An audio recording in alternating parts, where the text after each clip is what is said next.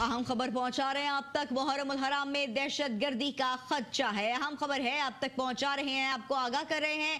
اس خبر کے ساتھ کہ سندھ حکومت نے وفاق سے موبائل فون سروس بند کرنے کی سفارش کر دی ہے۔ وجہ یہی ہے کہ محرم الحرام کے دوران سیکیورٹی خدشات ہیں، دہشت گردی کا خدشہ ہے۔ پورے صوبے میں موبائل فون سروس آٹھ سے دس محرم تک بند رکھی جائے۔ یہ سفارش کی گئی ہے۔ محرم الحرام میں دہشت گردی کا خدشہ۔